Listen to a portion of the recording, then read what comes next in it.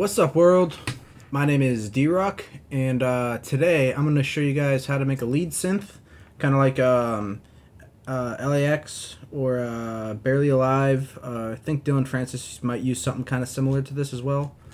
Uh, but yeah, it's a basic um, sawtooth with a bunch of reverb, but it's super clean. So uh, yeah, let's just dive right into it. Um, here, as most of my tutorials will be, the basis is a Thor, and uh, combine it right off the bat. Sweet. And we've already got the sawtooth wave loaded up right off the bat, which is nice. Can bump up the filter frequency, or you could probably just turn it off, actually. It doesn't really matter. Uh, and then turn the sustain all the way up on the amp envelope. Uh, let's do this uh, mono retrig. And that's where we're at so far. So right off the bat, it's pretty sim. It's for, for within inside the Thor, it's pretty simple. Uh, the majority of this sound is going to be processing. Oh, I lied. Uh, let's turn on the hard clip shaper. Gives it a little extra high-end content um, that we will need for this sound. So, uh, first device is going to be a Scream. I'm actually going to leave it on overdrive. I'm going to turn down the drive amount a little bit. P1 we're going to turn all the way up. That way we get a bit a bit more high end out of it.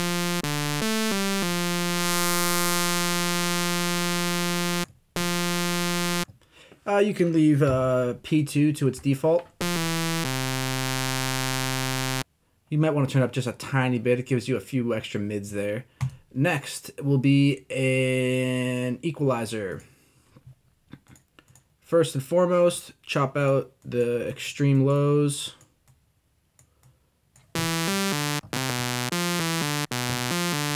Because typically you're going to use this uh, over on top of, um, well, for a, a, lot of like the Laxx songs, think like, uh, what's that song? Step 2.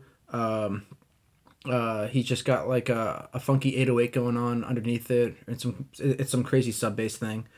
Uh, if you want to, you can, depending on your key, you can kind of find what does it, what sounds gross in like the mids, low mids in that area.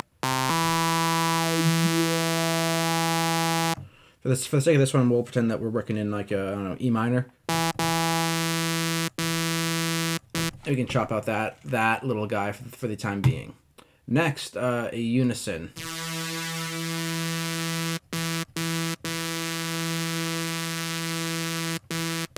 Just to add a tiny bit of width to it. With a little bit of extra fuzz, I guess. Even though it's not quite fuzz, it's more that chorusy sound. Uh, and then a compressor.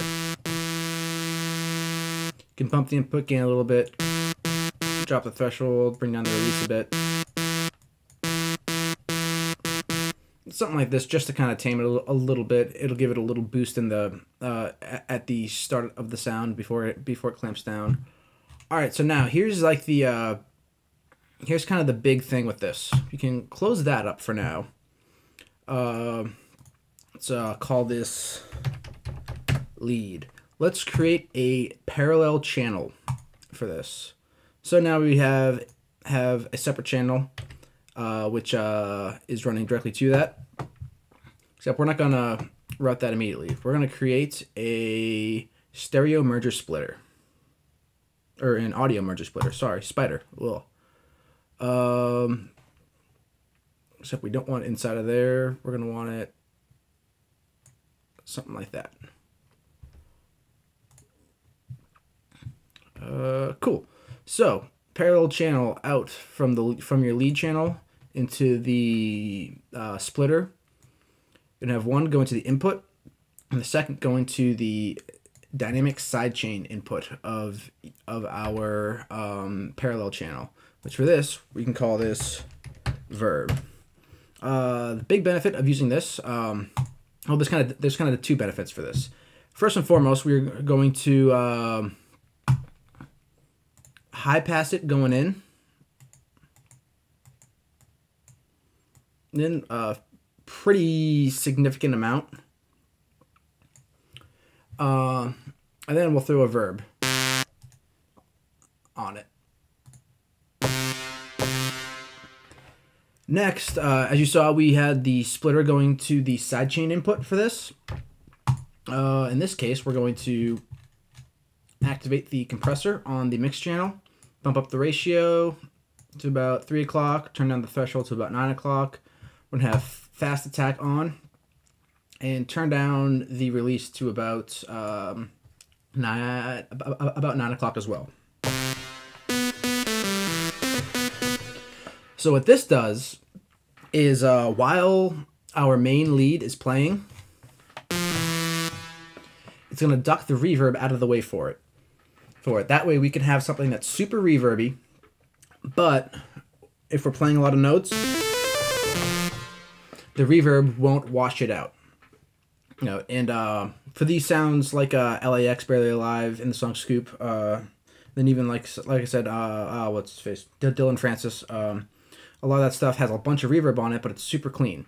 And uh, within reason, at least, this is kind of how I how I uh, achieve this sound. Um, so yeah, that's that's the basic gist of this sound. Uh, if you have any questions, uh, feel free to drop a comment. Um, if you have any any uh, requests for specific sounds, once again, drop a comment, send me a message, something like that, and I will try and I will try and um, figure out how to make that sound and then show you guys.